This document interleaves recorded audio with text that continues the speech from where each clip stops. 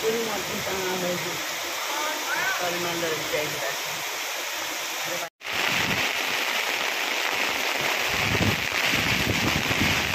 તો આપે ફાસ્ટ બોલેલી ન્યૂઝ યુટ્યુબ ચેનલને સબસ્ક્રાઇબ ના કરી હોય તો સબસ્ક્રાઇબ કરી બે આઇકોન દબાવશો જેથી આપણને નવા અપડેટ તથા ન્યૂઝના નોટિફિકેશન તુરંત જોવા મળી જશે ધન્યવાદ